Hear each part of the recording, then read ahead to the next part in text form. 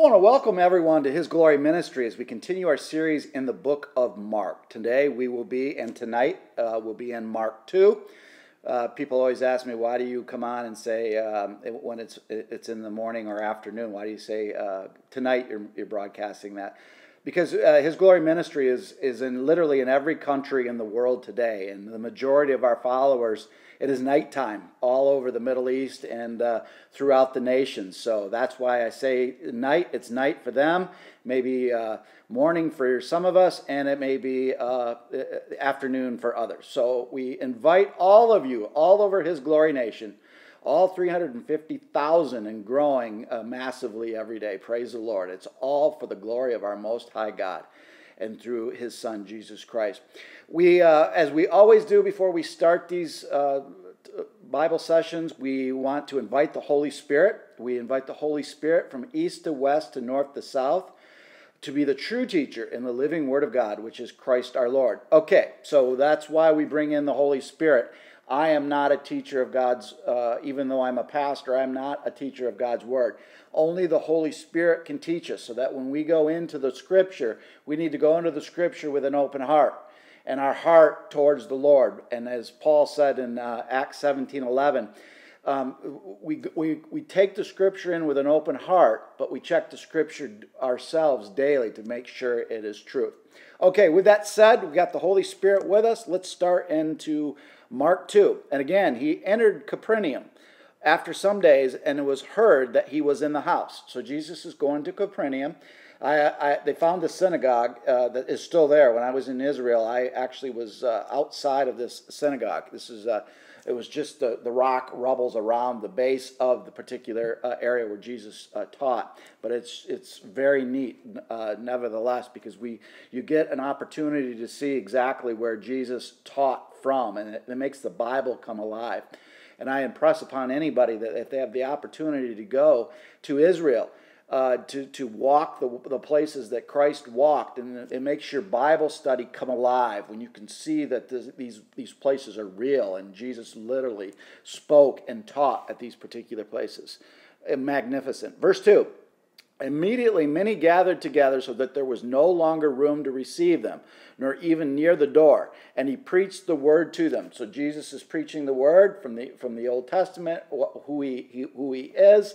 Um, and the crowds obviously, obviously came in because they knew that this, this man was more than a rabbi. They knew this man had just unbelievable knowledge of the word. And little did they know that he is indeed the author of the word. He is indeed the living word. When Jesus comes back in the book of Revelation, he comes back as the title of the living word. He is the word of God. In John 1 1, we see that he was in the beginning, before the world, and he was with God. The word was God. Okay, verse uh, 3. And then he came to him bringing a paralytic who was carried by four men. Four is always a number in expositional constancy, a fancy way uh, that the Holy Spirit is always consistent in symbols, its idioms and the numbers. Number four is always a symbol of the world. So Jesus is showing the world what he's going to do with this paralytic. Okay? Verse 4 And when they came, could not come near him because of the crowd, and, and, and, and they uncovered the roof where he was. So when they had broken through, they let the bed on which the paralytic was lying. Okay, so in Israel, in this particular time, and still Israel today, you have um, the top of someone's house is really the place that you go where the sun comes down and where it gets cooler. That was your entertainment place. So every uh, house had a roof. And that's why when we get to the point of the prophetic, when we did in Matthew 24, and we get into the prophetic of uh, in Mark, Jesus will say, you know, when you're on the top house, uh, the top of your house, don't look back. Uh, just go. Don't look for your baggage. Just go. Head to Petra, and we'll get more into that when we get that part of the uh, the, the, Gospel of Mark. But um, so the top of the top of the roof. And so this, this, this man, these men had such great faith, and this paralytic had such great faith that they were cutting a hole to let this man down on his bed so that he could get to Jesus because the crowd overwhelmed him around on the ground. When Jesus saw their faith, faith, he said to the paralytic, Son, your sins are forgiven you. Which creates a huge stir because only God can, can uh, forgive sins. And so this is going to get their dandruff up. Some of the scribes were sitting there and reasoning in their hearts. Okay, here's the key to this. They were reasoning in their hearts. They never spoke anything. This is where you shows that Jesus supernaturally, not only the Son of God, God in the second head, and the Son of Man, or considered the second Adam, who will come and, and be the redeemer of the sin once and for all because of his salva- uh, because of his crucifixion on the cross for our sins. Um, he's uh, the reasoning in their heart. So he's reading their mind and reading their heart. So God, the Father, Jesus Christ, and the Holy Spirit, they know the intent of our heart always. We don't need to speak it. Remember when Sarah was come up by Jesus, which is called a theophany. A theophany is an Old Testament uh, revelation of Jesus Christ in the flesh before his earthly birth. So when he came up with the two angels before they went to Sodom and Gomorrah, they looked on and, and said Sarah would be uh, would be would be with child, and that would be Isaac at, at an old age. And she laughed inside. She didn't laugh outwardly, but Jesus knew she laughed, and that's why. Um, and she says, "I didn't. I didn't laugh." And she you know, technically wasn't lying. She didn't outwardly laugh, but she laughed in her heart, thinking, How in heck am I going to have a son when I'm 90 years old? It's impossible. But no, nothing is impossible for God. And the name Isaac, who she gave birth to, to be the covenant from Abraham, Isaac, and Jacob. Isaac means in Hebrew laughing boy because Sarah or Sarah laughed. And this is what these uh, scribes and Pharisees are doing. They're laughing in their heart. They're like, well, who is this guy saying he can forgive sins? So, what, uh, so why does this man speak blasphemies like this? Who can forgive sins but God alone? In the Greek, theos, three, God the Father, Jesus Christ, the Holy Spirit. Verse 8, but immediately when Jesus perceived in his spirit, again, he perceived it. He didn't hear it. He perceived because he is uh, the Son of God and God in the second head. He knew what they were thinking. He perceived it. Um, that their spirit, and he reasoned thus with himself. He said to them, why do you reason about these things in your heart? Why are you why are you coming up with all this nonsense? You have that much time in your hand in this theology. You're missing theology. You're, you're religious. You're religiously puffing yourself up and thinking you know the laws and the precepts and the commandments of God. But you miss the most important thing. It's a relationship, a relationship with a heart. God wants our heart. And he says that even in the Old Testament to Jeremiah. He says, circumcise their heart I don't want your sacrifices. I don't want your offerings. I want your heart. And that's what Jesus is saying to him. You're missing it. It's not intellectual reading the Bible, it is a love relationship by opening up your heart to the Most High God through the Son, Jesus Christ. Praise his name. All right, but, uh, but that you may know the Son of Man has power on earth to forgive sins, he said to the paralytic. So, um, I skipped nine. I'm sorry, which is easier to say to the paralytic, Your sins are forgiven, or say, Arise, take your bed and walk? So he's making a point. He says, What is easier for me to do to, to, to uh, show you? It would be easy for me to say, I am the Son of God and uh, your sins are forgiven because only God could justify that. He would have to strike him down with, with, with, with fire. But, he, but look at I'm doing. I'm saying I'm the Son of God and I'm brought down by God and forgive him, forgive this paralytic of his sins and take your mat and walk away. This is a pure miracle. He's getting up and walking away. Only God can do miracles. Thus far, I am from the Father, and the Father is me, and I am him. We create one and, and three. Theos in the Greek, Elohim, the three, and the Hebrew. So, but you may know that the Son of Man has power on earth to forgive sins, he said to the paralytic. So he's saying that Jesus Christ, the Son of God, has authority. The Father gave him authority to forgive sins. Jesus cannot do anything unless the Father gives him authority, and the Father has given him authority. Immediately he rose, took up his bed, and went up in the presence of, all, of them all, so that they all were amazed and glorified God, saying, We never saw anything like this. So this was a quite an event. They've never seen a miracle of this magnitude. Uh, the Pharisees were blown away. And the key thing here is what did the paralytic do? He gave praise to Theos. He gave praise to the Most High God. And everything done in a true miracle gives glory to God, God the Father, Jesus Christ, the, the, the Son, and the Holy Spirit.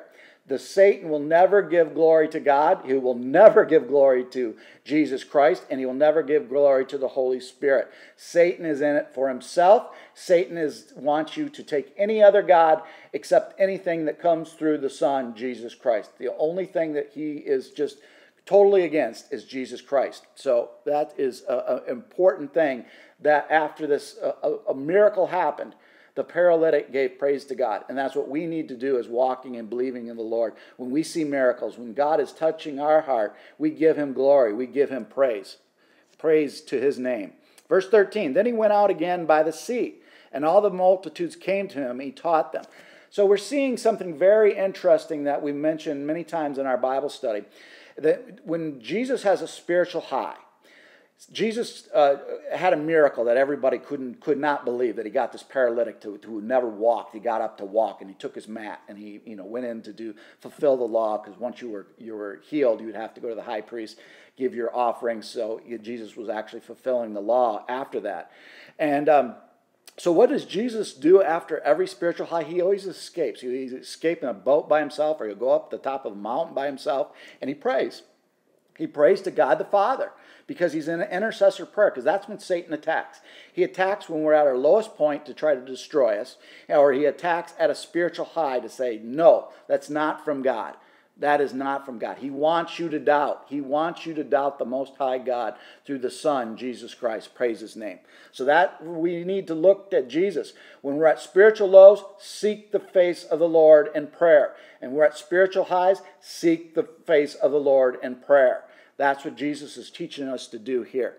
Uh, um, so then he went out by the sea, and, and uh, then he taught them. Verse 14. And he passed by, he saw Levi, the son of, of Alphaeus, sitting at the tax office. And he said to him, Follow me. So he arose and followed him. So this is Matthew. He wrote the book of Matthew. He was a tax collector. And these were considered the lowest of the lowest in the, in the Jewish tradition or in the, Jew, at the, in the time of Israel at this time. Because a tax collector would work to get taxes on behalf of the Roman government. So the, the, the Jewish people thought they were traitors and how they made their money and they were kind of had a uh, unethical reputation, kind of like a, uh, uh, a used car salesman or um, some realtors that we see today. Um, so he he he, uh, um, he he takes him and says, "Come follow me." And uh, what's he do? He does it right away. Um, so he, he we get to verse 16. And when he and the scribes and the Pharisees saw him eating with the tax collectors and sinners, they said to his disciple, How is that that he eats and drinks with tax, tax collectors and sinners? So they're judging Jesus because he's eating with the sinners. And uh, this is the problem where the church has gotten today. You know, 75% of all people who are surveyed why they left the church and the reason is they were offended by someone or something in the church. And it's usually a, uh, a, uh, a spiritual pride from somebody within that church that rubbed them the wrong way or ran them out, thinking that they were mightier or better or more religious or better than anybody else. And Jesus is teaching us something very important here. We don't look upon anybody low. And just because you know the Bible better than somebody else and you are following God's word does not make you better than a sinner. God's love is for all mankind to confess their sins and come into the glory of the Lord. So the church today is not a museum for saints. No. It is a hospital for sinners, as Jesus says. They need a physician. And we as Christians, we want to bring people in to heal them because we all are fallen. We are all of SIN positive of our DNA, and we all fall short of the glory of the Lord. And it's only by the grace, the free gift of our beloved Savior, Jesus Christ, that gives us this everlasting life. So we need to be that light in the darkness and bring them in and love bring in the sinners and let them let them love and somebody who thinks they're intellectually better than somebody else in theology they're doing it with their mind instead of their heart. They need to be humbled. Remember, it says, He who is exalted will be humbled. The humbled will be exalted. God is looking for somebody with a humbleness that serves as humble. You cannot be exalted if you're serving the Lord truly with your heart because it's not about you anymore. You've left self and gave everything up to the Most High God through the blood of Jesus Christ. Praise His name. When Jesus said, he said to them, Those who are well do not need a physician, but those who are sick. I did not call on the righteous, but the sinners to repentance. And so he's saying, I didn't call on the righteous. I'm coming to get the sinners. I was brought to the earth to pay the price, tetelestai, paid in full for every single person who ever born has fallen short because of Adam and Eve and Lucifer being thrown out of God's, uh, God's heaven because of pride. And first of all, they are not righteous. It's accredited to righteousness by your faith, and they don't have faith. Faith comes from love. So Jesus is calling them out. They think they're righteous, but truly they're not. Righteousness is not something that we can earn. Righteousness is built on our faith, and faith is built on our love and our trust in the Most High God through His Son, Jesus Christ. Remember, the scripture says it was accredited to Abraham as righteous by his faith not his sacrifices, not his circumcision. Abraham trusted God. Therefore, he had faith, and that's what made him righteous. And that is a free gift, and that comes from us giving all of ourselves up to him and for him. The disciples and John and the Pharisees were fasting, and they came and said to him, Why do the disciples of John and the Pharisees fast, but you are, your disciples do not fast? So they're, they're putting on these fasts. Remember, we see in the other Gospels that they would come in and make themselves look pale and say, "Oh, we're so holy. We're fasting for three days. Look at me and these these clothes, and I'm better than everybody else. Look at me. I'm fasting and I'm praying that I don't want to be like this sinner and this tax collector because I'm more mightier because spiritually I'm higher than them." He, Jesus is calling them out. You know, you can you can have those types of prayers all day long, but if your heart is not true to God, God knows the heart. And it's not these long-winded prayer. It is not us exalting ourselves thinking that we're obeying something and being righteous. No, righteousness comes from faith. Faith comes from, from the free gift. And faith is all about trusting the Lord with love. And that's what Jesus is trying to tell them. And they are getting it wrong. And Jesus said, Can the friends of the bridegroom fast with the bridegroom is with them? As long as the bridegroom is with them, they cannot fast. So Jesus called himself the bridegroom. And Jesus will come back to marry the church. The church is the bride. And it's everything is in, the, in, in heaven and throughout the Bible is called a wedding, a wedding ceremony. God the Father talked about married to Israel, how they, how they were a, a, a harlot, how they committed adultery against the Lord because they turned to other gods. Then Jesus Christ is the bridegroom. He will come down and get his bride, which is the church. And once we're caught up with the bridegroom to the church, we'll have the wedding ceremony. And the wedding ceremony is a beautiful ceremony that God brings us all together through his son Jesus Christ and welcome us in to the kingdom of heaven and we rejoice. For that particular time, there's no need for fasting. You don't you fast in your prayer because of God the Father, Jesus Christ and the Holy Spirit. He's saying, "I am Jesus Christ, the son of God, with you. Why would you fast? When I leave, that's when you fast." When I leave the comforter with you, then you fast for your particular prayers and do it with a, with, with, a, with a heart of love, not a heart of judgment. And that's what the church needs to do more love, less judgment, and more to the scripture, being obedient to the word and putting God first, Jesus Christ first, the Holy Spirit first, and us last. That is the walk of our sanctification. When we can give up self for his glory. That starts our walk. Praise his name. But the days will come when the bridegroom will be taken away from them, and they will fast in those days. So he's talking about when he is. Uh, he's resurrected. He dies on the cross for our sins, past, present, future. And then he's resurrected to be our high priest. That's the time of fasting. No one sews a piece of unshrunk cloth on an old garment, or else the new piece pulls away from the old, and the tear is made worse. So he's saying he's going to come back and create all, na- all things new. So you don't take a new piece of, of, of, of patch, he says, on an old garment. He says, I am the new covenant that was spoke about in Jeremiah 31 31. The Lord said to Jeremiah, I will give my people a new covenant referring to the Christ. And with Jesus, all things are new once we been born again and accept Him as Lord and Savior. That's why He's telling us in this parable. He says, No one puts new wine in old wineskin. If you put the new wine in old wineskin, it's, it's all bloated out, it will, it will seep. So he's saying, I create all things new. Don't take the old and mesh with the new. It is all new through me. I am the Son of God, and I am God and the second head. Or else the new wine bursts in the wineskin. The wine is spoiled, and the wineskins are ruined. But new wine must be put into new wineskins. And that's exactly what you do in those days. You take new wine and you put it into new wineskin because the new wine or the new wineskin, what happens with wine, it ferments. And as it ferments, it grows with the new wine. And if you did that with old wineskin, it would leak out. So he's telling us a practical purpose, and he's telling us a spiritual purpose that he is the completion. All ways are new through him. Narrow is the gate, but he is the shepherd gate. He is the way, the truth, and the life. And all things that are old, that's why baptism is so important. It is the immersion of sins being washed away, being born again. We're new creation. And, and through Jesus Christ, he's saying that's why you need to have the new, because you're I'm giving you a new covenant and I'm giving you new eternal life. Verse 23.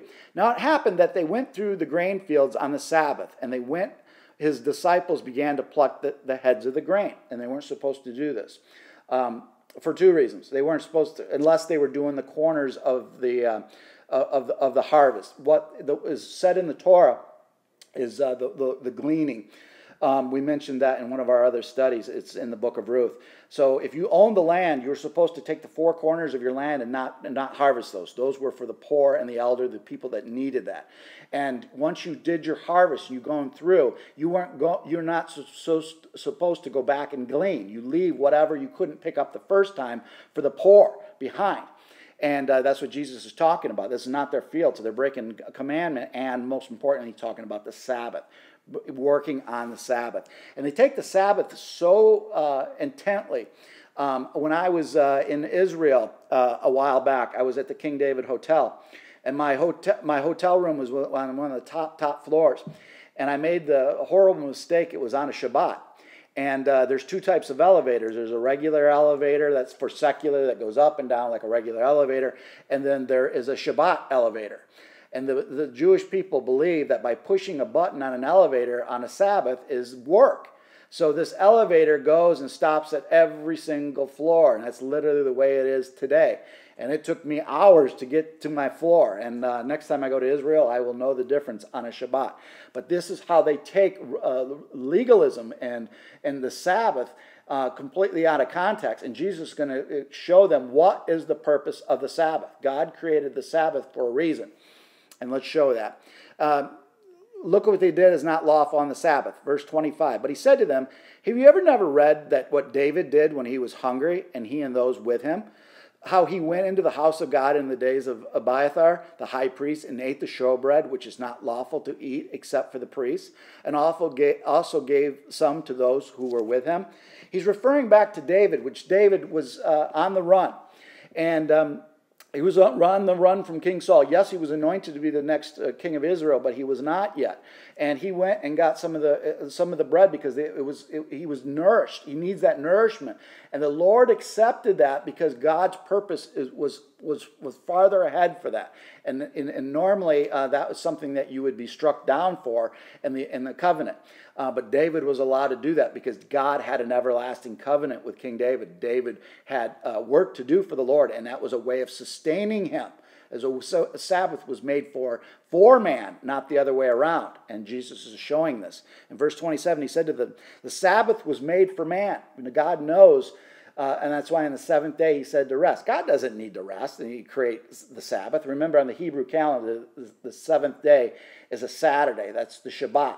And he says it's for man that they need to, to meditate, to focus on me and rest their physical and their spiritual bodies so that they can regenerate themselves. That's why God created the Sabbath. The Sabbath was made for man, not man for the Sabbath, is what Jesus is saying, and not man for the Sabbath in 27. And we'll close out in verse 28. Therefore, the Son of Man is also the Lord of the Sabbath. So he's saying the Son of Man, Son of God, Jesus Christ, through the lion of the tribe of Judah and the, and the root of David, is the Lord of the Sabbath. The Sabbath was created, and, and Jesus Christ is the Lord of it. And that's why Jesus picks the Sabbath to show them uh, so many times in doing miracles. We pray that Mark 2 has been a blessing to you, and may the God of Abraham, Isaac, and Jacob bless you till next time in Mark 3. God bless you.